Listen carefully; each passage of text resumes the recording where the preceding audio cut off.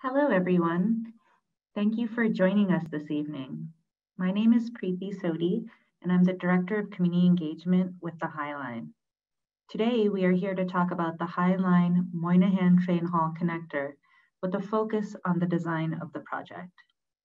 We will be joined by my colleagues at the Highline, as well as our project partners, Empire State Development and Brookfield Properties. Speaking with you today will be Mauricio Garcia, Chief Program and Engagement Officer at the Highline, and members of the Moynihan Connector design team. Lisa Switkin from James Corner Field Operations, who, has also, who was also in the original de design team for the Highline and has been working with us for over 20 years. James Corner Field Operations also worked on the public plaza at Manhattan West.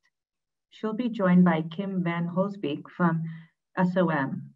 SOM is the design firm responsible for the Manhattan West development. Before we get started, I wanted to talk about some logistics for today's meeting. We will be using a Zoom webinar format. Please enter any questions or comments you have in the chat, and we will be organizing them to be answered at the end of the presentation. We will answer as many design-related questions as possible during this session. Questions related to other topics will be captured and shared with the project partners. In the coming weeks, we'll publish an FAQ on our website to address commonly raised questions. Today's meeting will have closed captioning enabled. To enable closed captioning, on the bottom menu of the Zoom screen, click closed captioning icon. It's a CC. Then select show subtitle to enable subtitles. This meeting will be recorded and uploaded to the Highline website in the coming days. And now I'm going to pass to Mauricio Garcia.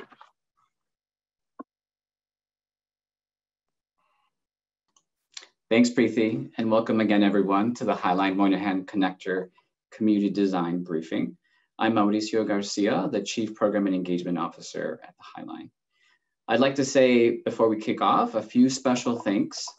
Uh, first and foremost, thanks to Governor Hochul for her support on this project, to our project partners, Brookfield Properties, Empire State Development, and to our design team, as uh, Preeti mentioned, James Corner Field Operations and SOM.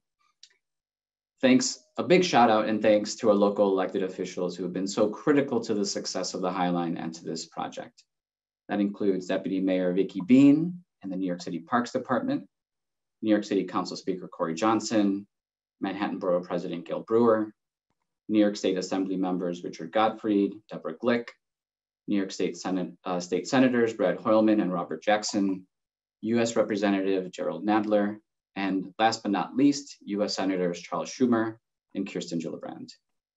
Thanks also to all the residents, small businesses, community organizations, and more who we've spoken to throughout this project and who we will continue to speak with along the way.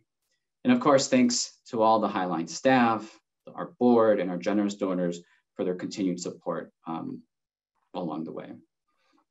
Also, many of you may be familiar with our longtime executive director and Highline co-founder, Robbie Hammond. He was very, very excited about tonight's event, but unfortunately he was not able to join us. He's actually on duty representing the Highline at a special event with the governor. Um, so he sends his uh, regards and his gratitude for everyone who's joined. So we're here tonight to look toward the future of the West Side. But before we do, I wanna provide some important background. To most, the High Line is a park that was built on a historic elevated rail line. But the High Line was always meant to be more than just a park. We're devoted to reimagining public space to create connected, healthy neighborhoods and cities. And a little known fact is that nearly all of our budget comes from donations from people like you. So thank you. But before we dive into the discussion of the new construction that is the topic of today's meeting, we think it's important to look back at history to understand how the West Side and how the High Line developed into what they are today. From the, time, from the time the High Line was originally built in the 1930s, it offered connectivity as a way of strengthening New York City. For over three decades, the High Line served to transport millions of tons of meat, dairy, produce to nearby factories and warehouses.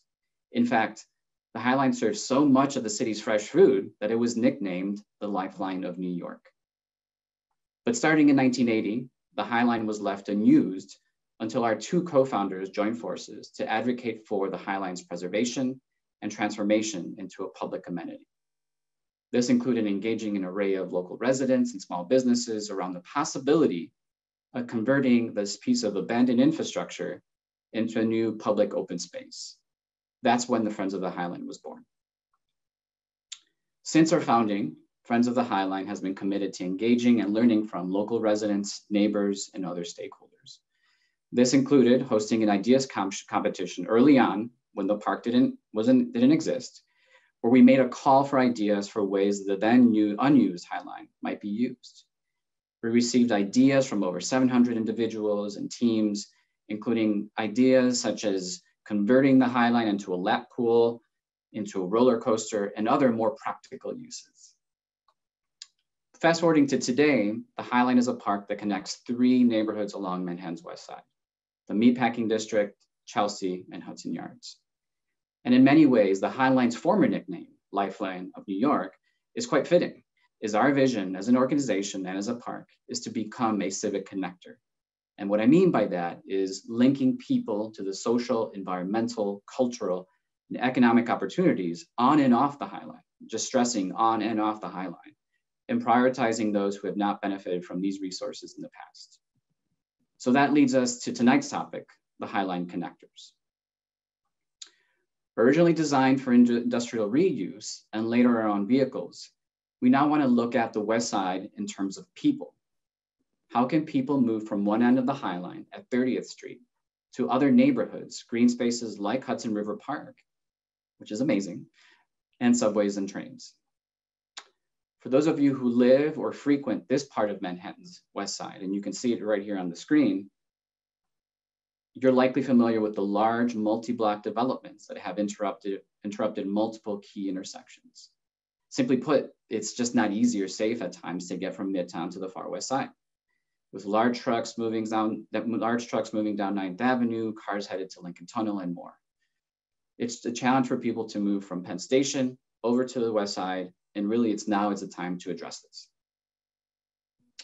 Most of us know that the marks of a successful modern city are open, accessible, and inclusive public spaces that help improve accessibility, safety, physical, and mental health. Now, ever since the early days of the High Line, we've considered the challenges to pedestrian mobility throughout this part of the neighborhood and assessed opportunities for improvement. And we have long championed the idea of connecting the west side of Manhattan with new elevated pathways.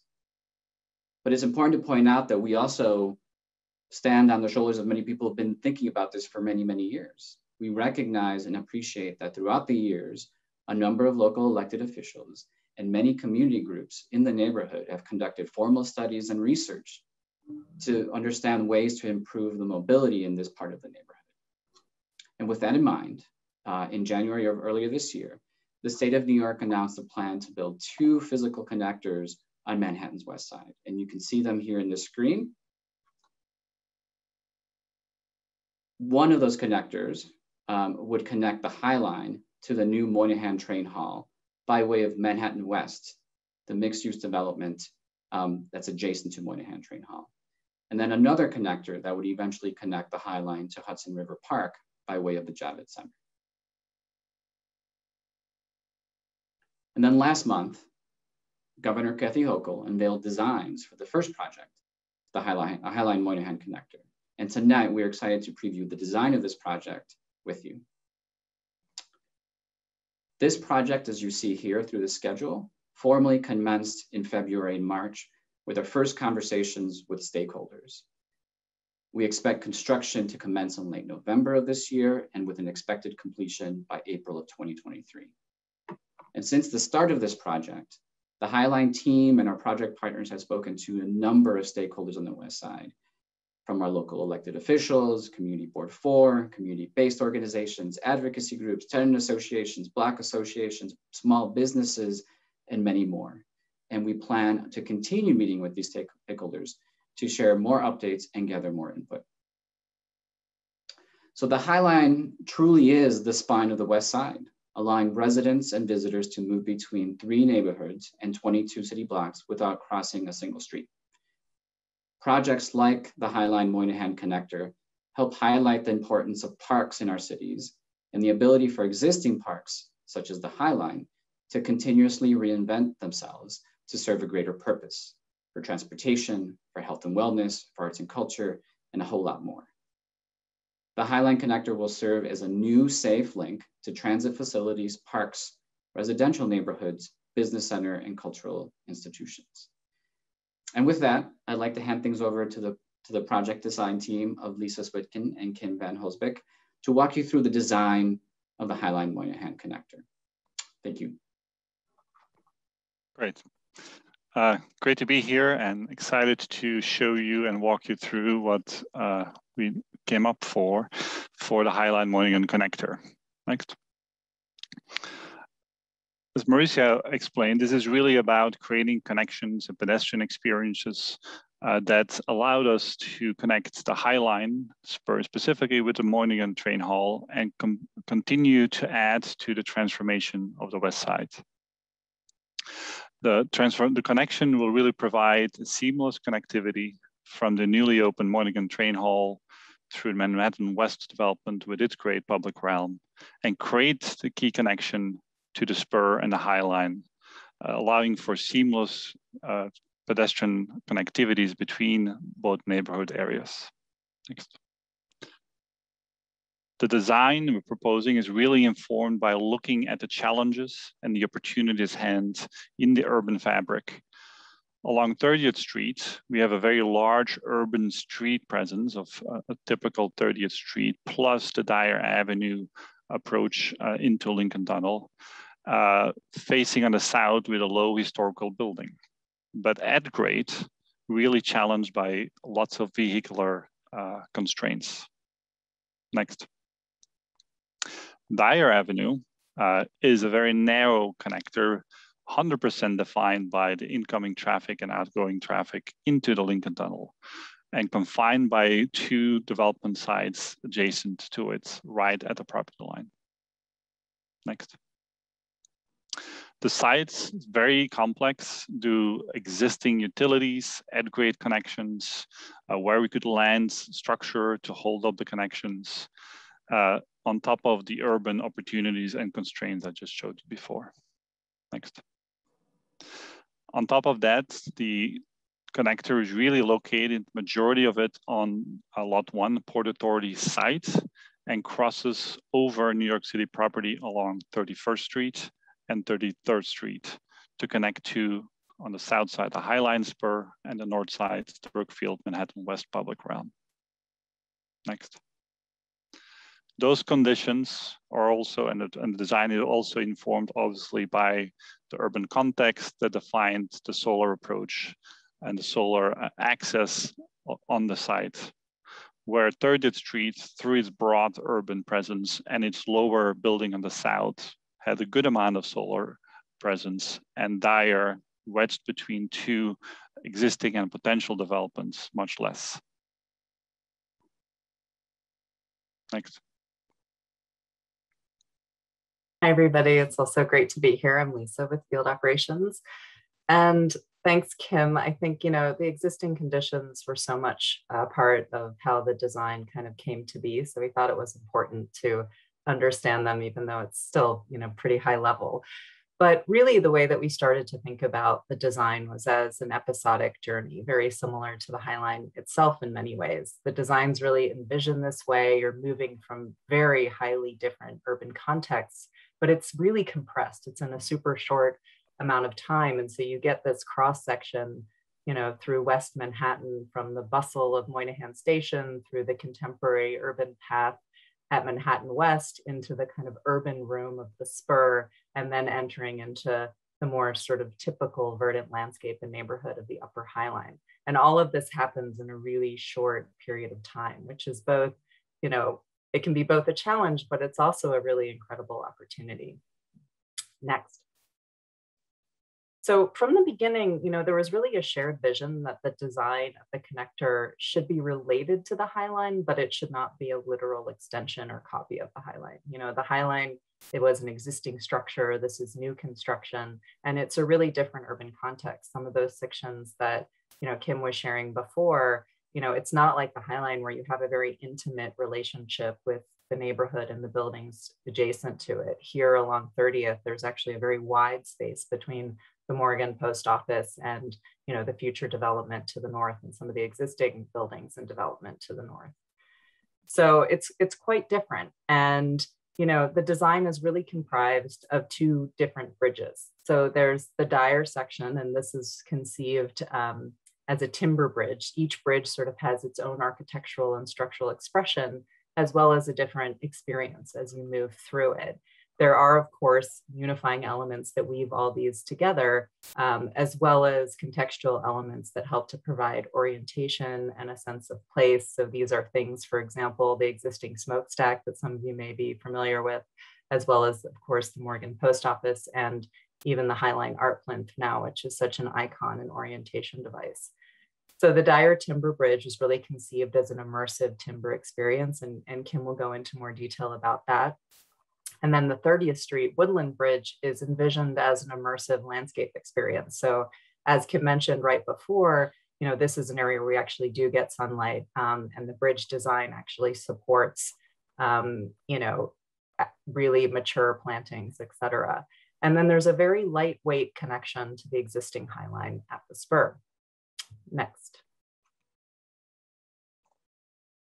So here you see the illustrative plan. Um, the Dyer section is about 260 feet, and it really recalls sort of New York State's historic Warren Truss bridges, but it has a contemporary expression, which Kim will talk about in more detail. And then the Woodland Bridge is the piece along 30th Street, and this is about 365 feet. And again, this is the immersive landscape really designed to support significant tree planting you can see that the path along 30th Street is actually like a diagonal slice.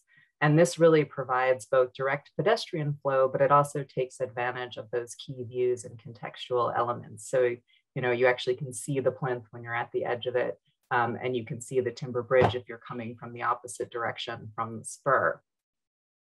So we're going to go into a little bit more detail of each of the different um, bridges, the spur connection, the woodland bridge, as well as the, the timber bridge. Next. So one of the key things with the 30th Street Bridge is that here we had the opportunity to actually create a structure that could support significant planting. So it's much deeper soil than the existing Highline. The 30th Street Bridge really can support lush, mature trees and plantings with um, native species that are inspired by New York State forests. And the deepest soil sections are about four to five feet, and this really ensures the health and the longevity of the vegetation. It's a very harsh and exposed urban environment. You get sort of as a bridge structure, freeze and thaw above and below. There's a lot of wind, um, et cetera. And the woodland really creates this unique, vibrant, and planted experience that extends not only the ecological corridor of the Highline, but it also helps to really insulate noise and wind, and it provides shade and it also has a really strong green presence from the street. Next. So with the 30th Street Bridge, there was also this idea that you know the landscape is actually tied to the structural expression. So the planting is tall and sort of lush where there is soil, um, and then the structure actually tapers where the walkway is. And the planting also shifts, you can see in the bottom elevation from high to low in one direction and high to low in the other direction. So you sort of have a very high kind of strong presence of green on the ends and more of a low point um, in the middle, right where the smokestack is. And this sort of allows you to have that straight diagonal, which allows you to have clear flow and movement but as you walk along it, your experience changes because sometimes the planting is to your left, sometimes you're surrounded by planting and immersed in it on both sides, and sometimes it's to your right. So the experience is very different and your glimpses of the context around you also shifts and changes. Next. And the planting design is also inspired by Eastern deciduous forests. Um, it's really designed as forest layers as a forest would sort of um, actually be structured. And so this includes a canopy layer, a mid-story tree layer, a shrub layer, and an understory layer. And this layered approach is really designed for year-round interest. So the mid-story layer sort of has all the flowering trees in the spring. There's all sorts of verdant greens in the summer. There's vibrant fall foliage and blooms, of course, in the autumn. And then there's really strong tree forms and evergreens um, with even those like red berries and things like this in the winter. And all of the tree species are really, they're similar to other places on the Highline. They're very similar to the spur planting that are in the tilted uh, weathered steel planters, as well as the Gansevoort woodland and the flyover and the Chelsea thicket. And of course, the species were really, not only were they based on these native species, but at the same time, you know, there was quite a limited selection palettes because this had to be based on sun exposure, wind tolerance, tolerance of urban conditions, um, etc. So we can go into different species, but the trees are a mix of sugar maple, birch, hornbeam, hackberry, etc. You have mid-story of service buds and red buds and dogwoods and junipers. And then there's all of these other shrub layers and understory layers. Next. So that's the 30th Street Bridge. And then there is this very light connection at the spur itself. And so this is the existing condition of the spur. Um, you can see the sort of stair that is landing on 30th Street at the Morgan Station Post Office. And you can actually, you know, see where the High Line used to connect. The, the tracks that are remaining as part of the spur design used to actually go right into that building. And there's a balcony um, at the end with the seating and the planter which is looking towards Ninth Avenue. Next. So the proposed connection to the Highline Spur um, is happening at the north. And this really represented the lightest touch, both visually and structurally, out of a number of options that we explored. And the northern connection, it limits structural tie-ins to the existing spur. It helps really facilitate movement. Um, and flow by keeping really that circulation to the north instead of going through the spur itself. Um, it also allows that you know balcony to kind of function as it does today and the rest of the spur to really function as it does today.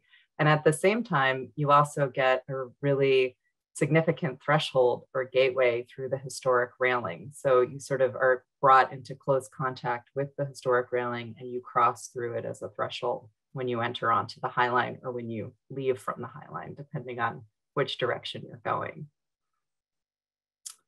Next. So here you can sort of see it um, coming together. This, this image is taken from 9th Avenue looking west. So you're looking towards the spur and towards Magnolia where you kind of see the 30th Street Bridge meeting the Dyer uh, Timber Bridge. And Kim is gonna go into more detail on the Dyer Timber Bridge. And on this image, oh, go back one, sorry. This image also shows you how the armature of the structure that's holding up this woodland bridge has a very strong architectural presence uh, expressed in weathered steel and kind of get that rusty uh, look and materiality within the precast uh, container that's really held up there that holds the deep soil. And um, in as a counterpoint and a supplement to that narrative, the timber bridge connects that very lush green uh, woodland on the eastern part to the north through a timber bridge that connects to the Magnolia Court at Manhattan West and really creating that visual uh, and physical connection between the two uh, landscape defined areas. Next. And so the timber bridge is really floating over Dyer Avenue as it turns north to go into the Lincoln Tunnel and disappear under Manhattan West public space. And as previously mentioned, it's very much defined by the much more narrower uh, urban condition, but also much narrower and, and fewer locations of actually creating touchdown points for the structure.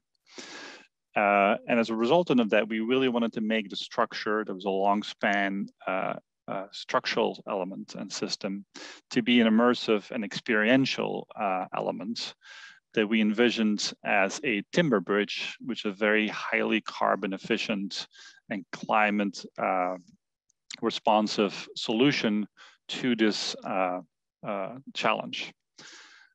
Next the expression of the timber bridge then also related back to elements that we uh, relates to New York City landscape uh, train tracks that go over the rivers, but also even closer by in Chelsea on the riverfront where some of the wood timber trusses were used in uh, along the waterfront.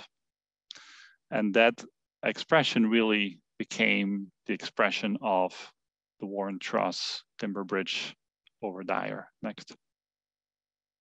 Really creating a iconic structural figure that allowed you to walk through and be immersive if uh, in a wood textured materiality that related to the natural landscape materiality on the woodland bridge. Next.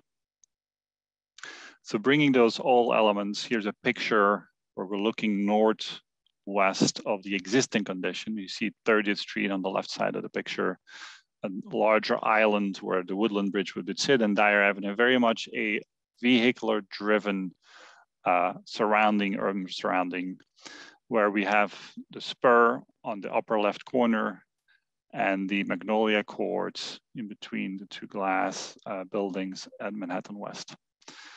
And the new addition of the Highline Moynihan connector will really transform this area and the pedestrian way of how to connect from one point to the other one. Next.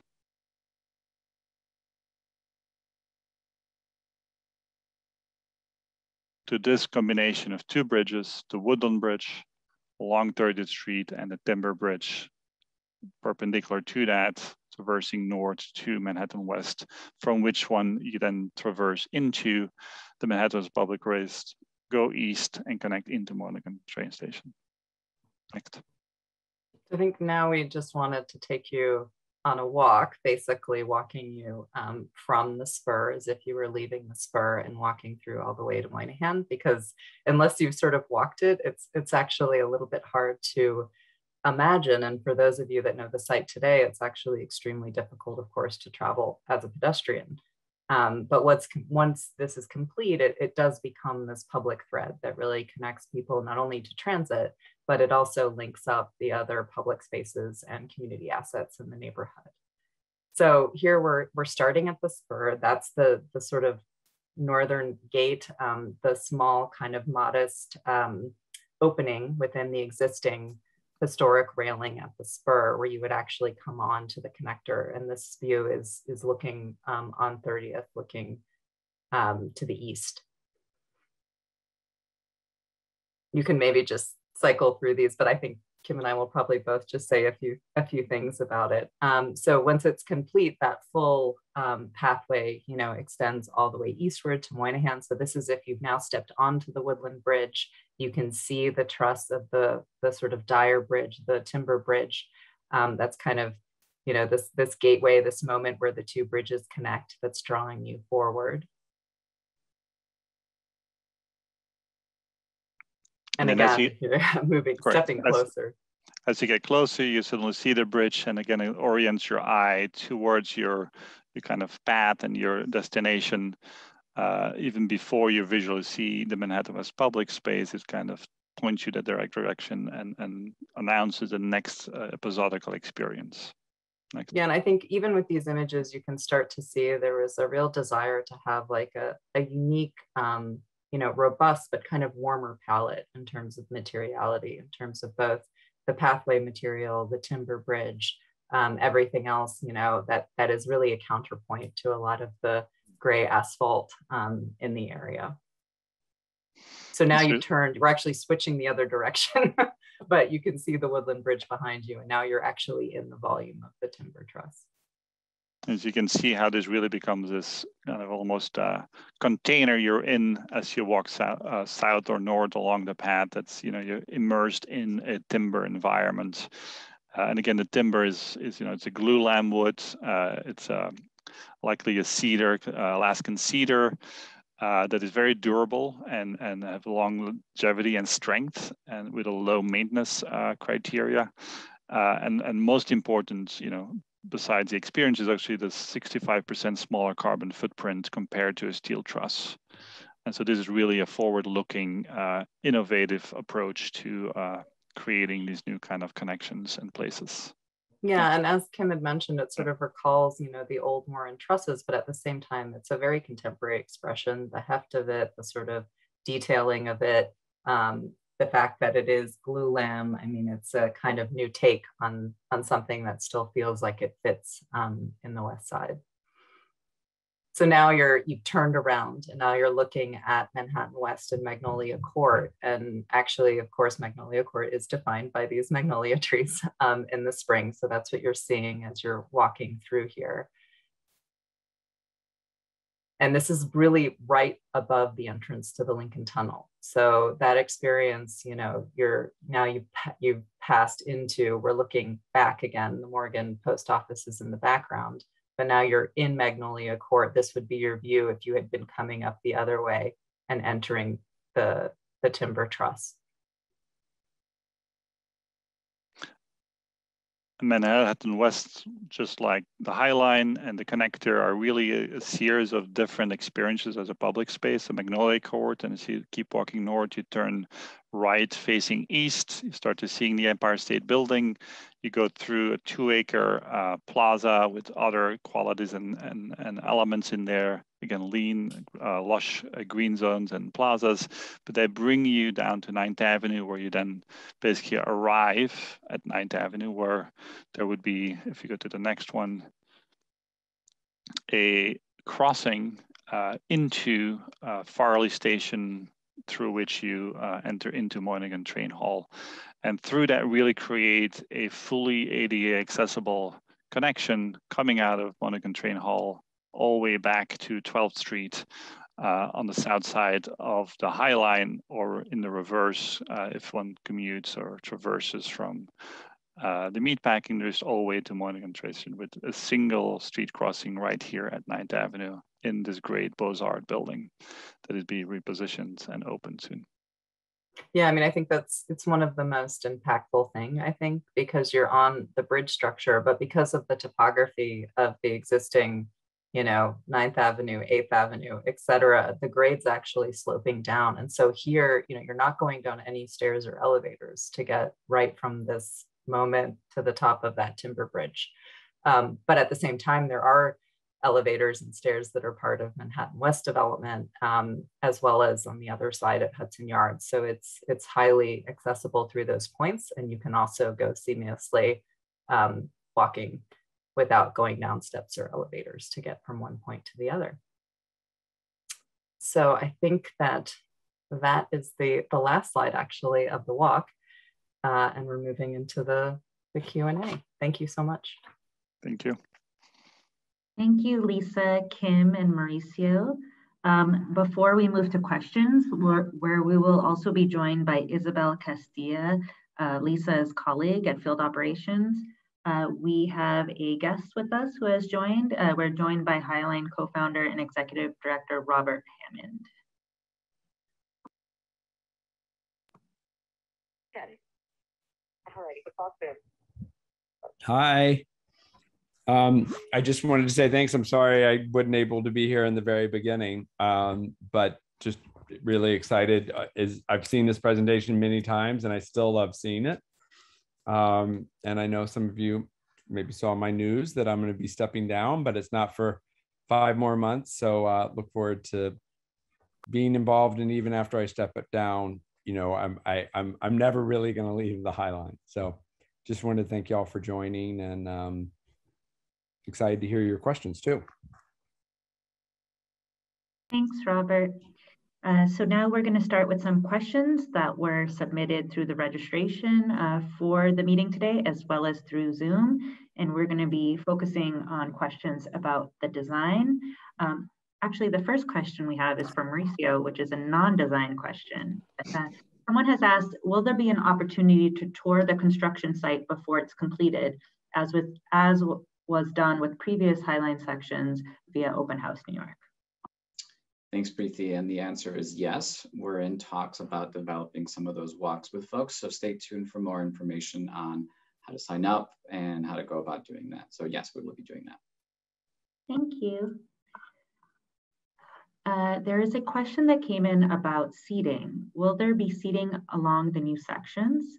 Um, and there's a second part to this question, which is about elevators. Will there be elevators for accessibility at main intersections along the new routes? Isabel, do you want to respond to that one? Um, sure. Um, so in regards to seating, um, we are only offering a very small limited area for seating where the two bridges meet um, to basically highlight and provide a unique moment and experience uh, for visitors. The reason we are limiting seating in this area is because the bridges are intended to be more of a connector between two larger public spaces that do have ample seating. So when we look at these images where we see the pink, uh, that is Magnolia Court, which is part of a network of um, large amount of open spaces that um, encompass Manhattan West. And these spaces have a wide variety of seating ranging from areas for groups to very intimate areas. And then as we see on the left-hand side of the image, the bridge connects to the spur, the High Line spur, which is kind of the um, this eastern terminus of the High Line that along its entire length, as you all probably are very familiar with, also has very ample seating for groups and for individuals. So what we wanted to do with this project was to create a very strong user experience, a connective experience but given its limited footprint, really allow that to be a space for movement, uh, connecting to these other two spaces that do have the proper footprint and environment uh, for sitting and congregation. In regards to accessibility, um, the, the two bridges connect on these two spaces, both of which have accessible entry points very nearby. So at Magnolia Court, um, right to the east, uh, we have an elevator and a staircase that will connect to 31st Street. And at the, um, at the High Line, we do have an elevator and a stair that connects at 30th Street. In addition to that, um, Magnolia Court can be accessed from um, 9th Avenue directly at the same level as 9th Avenue. You can walk or um, uh, have a completely accessible um, circulation all the way to the connector. And similarly from the High Line, um, the High Line connects to Hudson Yards at grade as well with an accessible connection. So not only will we have elevators nearby, but also both spaces do meet grade um, at a certain point, creating a very seamless and accessible um, journey throughout. Thanks, Isabel. Uh, we have a question about lighting on the bridges themselves. Uh, what type of lighting will be on the connector bridges? Uh, will it be safe at night?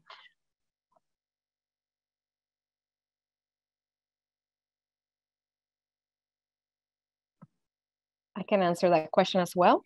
Um, so very similar to the High Line, what we're envisioning for the lighting for this space is that it is well illuminated to provide safety levels. Um, the levels of lighting are, um, are, are ba basically the same levels of lighting that are required for any type of public space in New York City.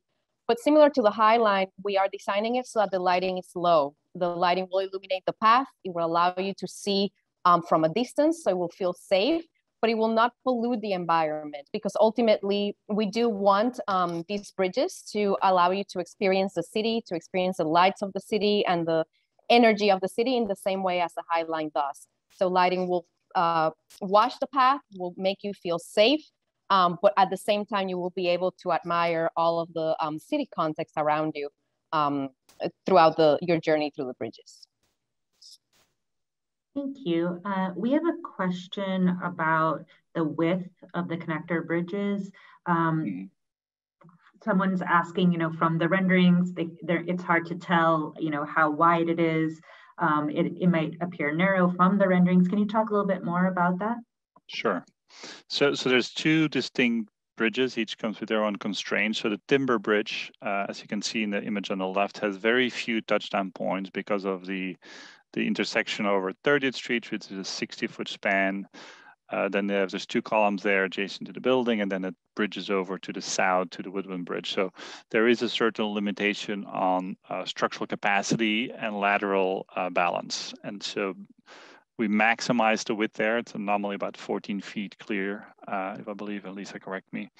And so that's ample two-way traffic where you can easily walk with two people next to each other comfortably and cross each other uh, with two two by two. Uh, and so the timber bridge gives that experience. On the woodland bridge overall is about 25 feet, I think, in width, with a, a, a good 10 foot clear path along that. And again, that's what tried to balance the uh, immersiveness of the landscape uh, and a clear path and there we were able to make it wider because we have the ability to do some double row of columns that then allows us to do that big immersive landscape above. Yeah, and I mean, just to add to that. Isabel's point earlier about not having lots of areas for people to stop and congregate. I mean, that was also part of this design in order to facilitate flow and movement, um, especially in this area. But at the same time, you know, also create an experience. Um, so it is, it both of them are more than the sort of existing Highline, you know, typical path width, um, which we did think was important, and especially the Dyer section is considerably more. Thanks. Uh, I have a couple of questions for Mauricio. Um, there were a couple of questions about when the connector bridges will be open in terms of their operating times. Um, can you talk about that? And then someone had just asked for you to, if you could quickly just summarize the construction timeline again. Sure, and maybe um, if if um, Harish, if you could put the timeline back up just so that I can refer to it. Um, reminder that the the timeline that the construction is set to commence in late November of this year. I meant operating hours, not timeline time. That's what I thought, right? There were two questions. Oh, one sorry. Okay. Hours and one of the, I, I packaged together Mauricio's questions. So in terms of the first one, the, the construction is set to commence later this year, uh, at the end of this year, as this as the schedule shows, and then completion, substantial completion, uh, should be done by April of 2023. In terms of the operations and such, we don't have information on that yet, um, and so we will be sharing more information on how we operate. Um, but given the relationship with the historical Highline, um, that will be taken into consideration. Did I did I get all the questions, Preeti? Yes, yes you okay. did. Great. Thank you. Um, we had a question about the surface itself on the connector bridges, and someone had a question about snow and rain. You know, if it would be slippery. Can you talk a little bit more about that, please? The the surface of the bridges. Isabel, you want to talk about the walkway material? Sure. Um, so the walkway, as we can see here on these images, is intended to be a warm metal that will complement uh, some of the, the planting and as Lisa mentioned, bring some warmth to the space considering the enormous amount of roadway we have nearby. Um, we're currently envisioning this walkway to be made out of um, Corten steel, which is the same kind of orange uh, material or steel that you see on the Highline spur on some of the walls, as well as some of the other Highline planters to make it um, slip resistant and to be able to walk on it during any kind of weather condition, whether it's snow, ice, or rain, this material will be perforated um, and what we call dimpled, which is basically, um, it's going to have a series of extrusions that are going to make it into a very rough surface to walk on while still being ADA accessible and comfortable to those with high heels.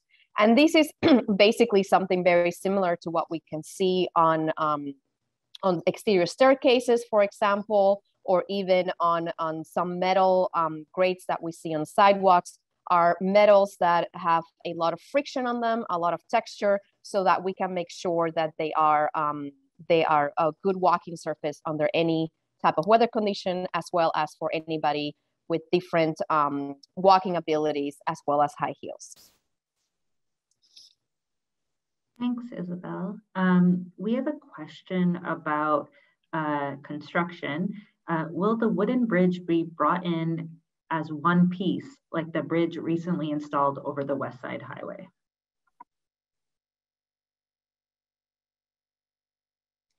Uh, I think that's going to be a logistical question. So the, the contractor is going to have a big influence. I, I, probably doubt it's going to be my guess. It's not in one piece, but the intent is it's probably more sectional but some manufacturing in the factory, some on site. But that's uh, still under progress. It would be a very long single install. Thank you. Uh, I have a question for Lisa, which is a very specific question um, from one of our volunteers. Um, will the soil be the same composite soil used on the Highline itself? Yeah, I can start that, and Isabel can probably go into deeper, deeper sort of detail. I mean, we are actually using the same soil scientist who worked on the Highline, so they're very familiar with all the soils. Um, and you know, it is an engineered soil specification due to the existing conditions. But we also, you know, have much more soil than we do on the Highline. So you know, it is it is slightly um, it's a better environment for to have these kind of large trees that we're proposing here. Because I don't know if there's any like specific details in the actual, you know, ratio of the, the soil composition that's worth mentioning. Sure. I mean, the, the soil, as you mentioned, Lisa, it's, it's exactly the same as the highline. We just have more of it. Um, but what we're doing to take advantage of the, the additional space that we have is that we're also adding insulation to the plantings, um, to the planting beds, in addition to the soil. What this will do is it will make sure that the trees don't get too hot in the summer and don't get too frozen in the winter, understanding that this is a bridge that just is not at grade and does not have as much um, thermal um, protection as other areas. So we're taking advantage of this additional space to do that. We're also, um, in addition to the soil, we're adding a stronger drainage layer to make sure um, that the space retains water when it needs it, but also is able to drain it properly so that the trees do grow healthy and large. Great. Um, someone has, thank you. Uh, someone has a question about where the Woodland Bridge um, is connecting to the spur. Uh, they ask, why not connect the Woodland Bridge at the spur's glass railing instead of cutting the steel railings? Maybe you can talk a little bit about the positioning.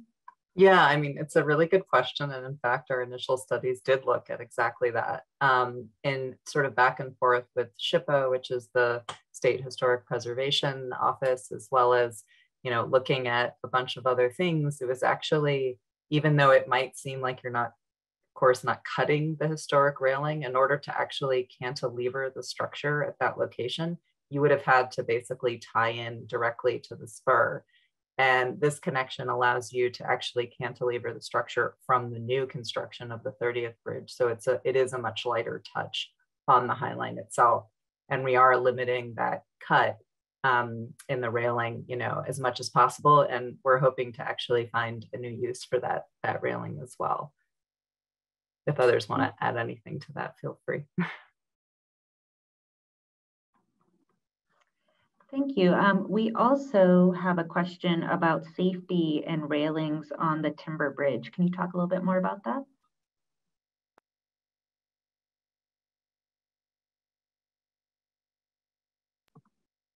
Kim or Isabel, do you guys want to talk about the railing heights and design?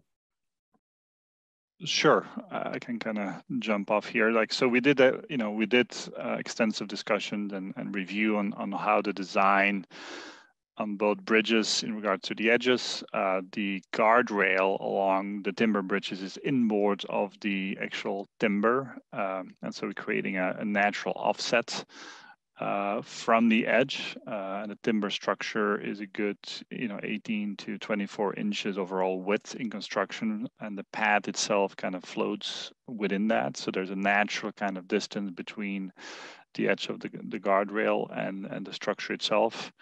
And in addition to that, the guardrail itself is is not just your regular guardrail uh, from a code perspective, but actually a little bit higher to provide that um, extra uh, kind of protection uh, for people not to be able to climb naturally over it or do some other things. And so the combination of both really allowed us to kind of create a, a clear vision, creating a separation for the pedestrian to the edge, uh, but still, uh, but also maintain a visual um, presence to the city uh, and not a, not a cage condition that uh, feels sometimes projects a, a lesser safe environment. Great, thank you.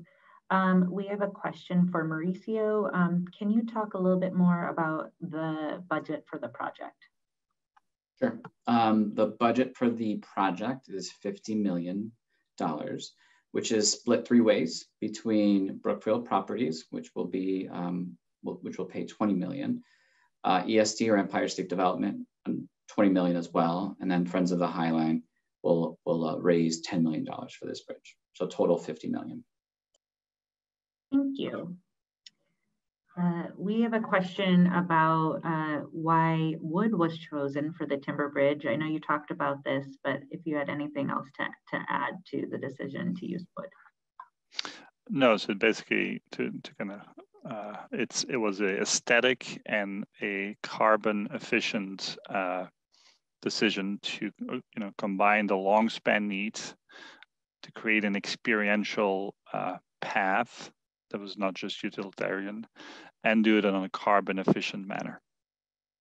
Yeah, I mean, I might just add, I mean, Kim, you and I were actually just talking about this the other day. You know, New York City just in the process of revising codes, as are many mm-hmm. other cities, to actually allow for timber construction up to six stories or so, I believe, um, for buildings. I mean, this is something, it's a, it's a trend that a lot of people are looking at. Um, you know, steel also buckles under fire and other mm-hmm. things. I mean, there's a lot of um, new uh, technologies, new applications, um, but glulam itself has also been around for a very, very long time. There's a lot of strong precedents that show not only its durability, um, but also maintenance and other things. So we definitely did a lot of the research. This was not, um, you know, this is Port Authority, DOT, all of those agencies are reviewing this. So it's gone through a pretty, um, you know, robust set of criteria. Uh, I have two questions about uh, greenery and horticulture. Uh, one is, will there eventually be greenery around the timber bridge? And the second one is, how will you irrigate the plants? And does the Highline use soil moisture probes so that if nature is providing rain, we don't need to irrigate? So we will not, uh, to answer the first question, we will not be providing um, any planting on the Dyer Avenue or Timber Bridge.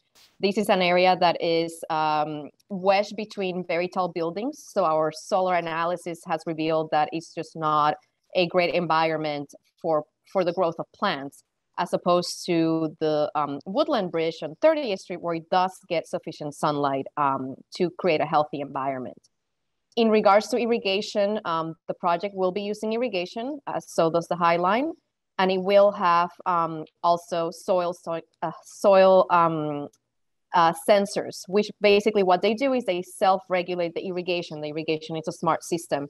If we do get a lot of rain, um, the irrigation system will not emit as much water.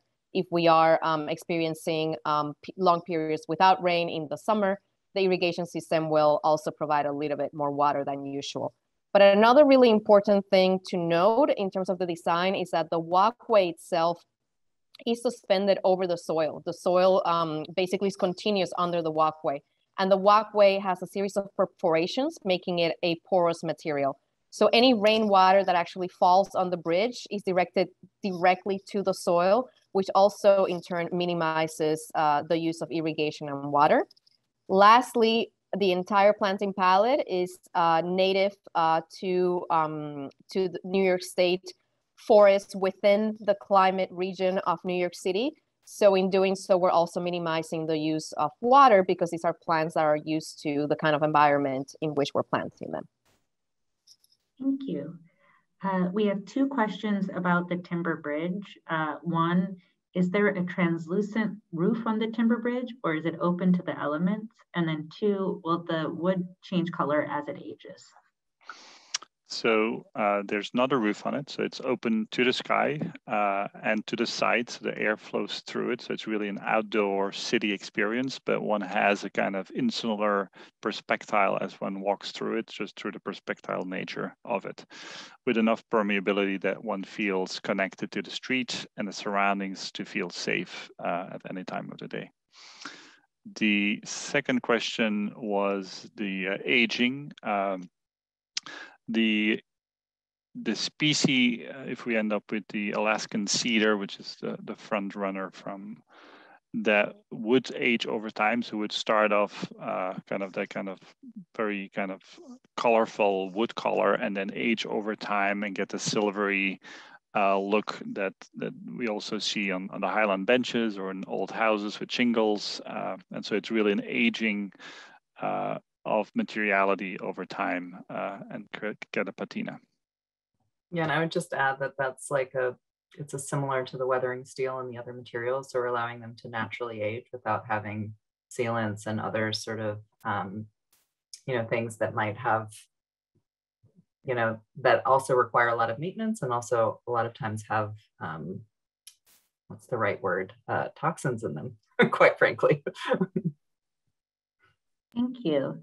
Um, I just want to go back to the questions about railings and safety. Can you be um, explicit and specific? What is the height of the barriers on the timber bridge? Isabel, do you want to take this? I know you were just um, doing a lot of work on this particular question. sure. So the, the barriers on the timber bridge are 54 inches in height. Uh, this is taller than your regular railing that you see on a balcony, which is usually 42 inches. And the reason we came up uh, with that number is because um, New York State DOT actually uses that as their standard for any pedestrian or bicycle bridge um, that crosses uh, long distances and is over um, you know very high elevations. So it is a new york state standard that's used for this kind of place. In addition to that we wanted to make sure that this was not only something that met regulations but that was also comfortable for almost everybody understanding all of us humans are of different sizes. Um, so to give you an example, I am five feet tall and Kim is somewhere above, above six feet. And what we did to um, come up with this dimension is we actually walked across the High Line where we do have um, guardrails of many different heights. And we tried to find guardrails that were um, higher than the regular 42 inches, but that for a person of my size, felt safe while not impeding your eye level because what we didn't want to do is create a guardrail where um, you're looking at the frame instead of the view around you. We also wanted to make sure that for people that were very tall, it didn't feel like a, uh, an element that was perhaps unsafe given that we are over a roadway. So between the balance of what the New York State regulations are and understanding all of our um, sizes as, as different people, we thought that was a really good balance, something that made everybody feel safe while still allowing you to see out. Lastly, and of importance, is that the material of um, the guardrails is a stainless steel mesh, very similar to what you see on the High Line. And these stainless steel mesh meshes are engineered so that you cannot get a foothold on it. Um, it is stiff, it will be safe, but it will not allow you to climb it which we know is also a very important consideration on a public space over a roadway like this one. Hope that addresses um, the question. Thank you. Um, we have a question. How immersive is the immersive environment on the bridge from the High Line? With the slanting tree line, um, one does one always get a view onto the city without yeah, I mean, actually, it, the, might feel unsafe. Sorry. yeah, I mean, if you can see from this rendering, you know, there's the the higher end um, towards the spur, you're actually getting the view out, right? So you have the planting. If you're walking towards Moynihan, the planting would be to your left, and you'd have the vista to your right. In the middle is actually where the planting is the lowest, so you can kind of you're you're within the planting, but you can still see out. And then when you move past that, the planting is more to your right. And so you have the view to the left. And so this experiential quality allows you to kind of both be, on the one hand, buffered from all of that context, but also allow for vistas out. And I, I think like for those of you, I mean, the Chelsea thicket, for those of you that know it, is actually like quite tight you know, in there in terms of how the planting comes up around you. It's almost like a tunnel. Um, and so while some of the species are the same here, you know, we wanted to create both the feeling of being insulated, but also not, you know, claustrophobic. Thank you. Um, we have a question. Um, what about birds nesting on the bridge? Is there a concern about this?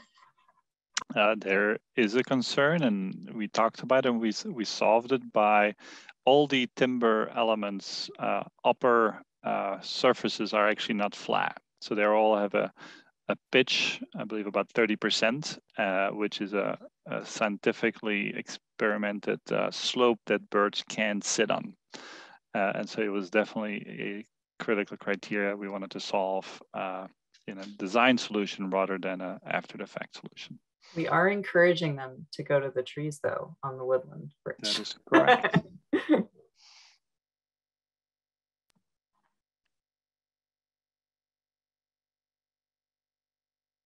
Just looking through the questions that come through.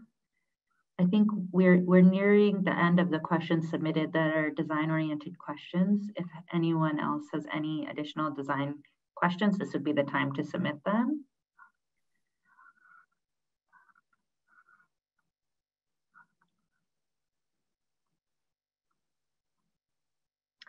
Uh, Mauricio, I have a question uh, for you.